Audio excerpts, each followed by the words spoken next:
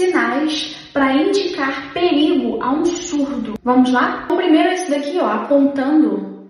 Quando você quiser mostrar algo para um surdo discretamente. Tá com ele aqui do, do lado, né? Ó, olha ali, ó. Urgente! Configuração da mão e o urgente, urgente. Vem, vem, vem, isso é urgente. Isso é muito perigoso, muito perigoso. Acidente. Acidente. Acidente. Cuidado. Perigoso. Acidente. E o melhor pro final, que é esse daqui, quando você quer falar de assalto em um local público, né? Esse aqui todo mundo conhece. Agora, assalto em um local público. Tá ali no ônibus com surdo.